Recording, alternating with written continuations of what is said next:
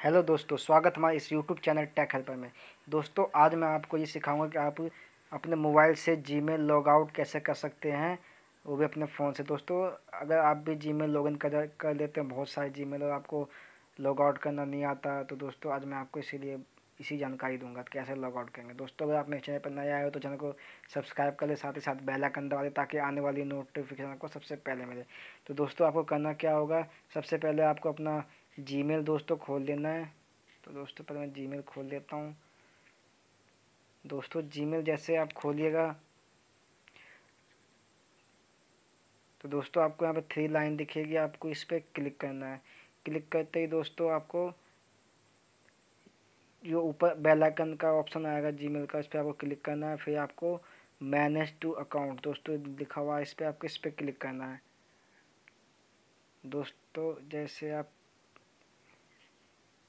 Sorry दोस्तों। दोस्तों, जैसे आप इस पर क्लिक कीजिएगा तो दोस्तों, यहाँ पे आपको गूगल गूगल हो तो गूगल आप क्लिक करना है दोस्तों।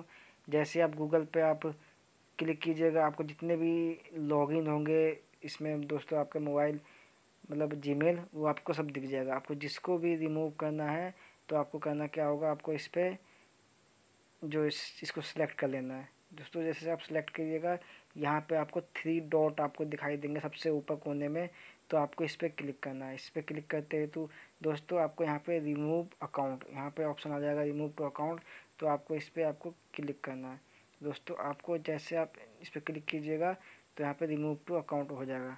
तो दोस्तों ये जीमेल अब अपने मेरे मोबाइल से लॉग आउट हो जाएगा। दोस्तों आप देख रहे हैं, ये देखिए मेरे मोबाइल से ये जीमेल लॉग आउट हो चुका है।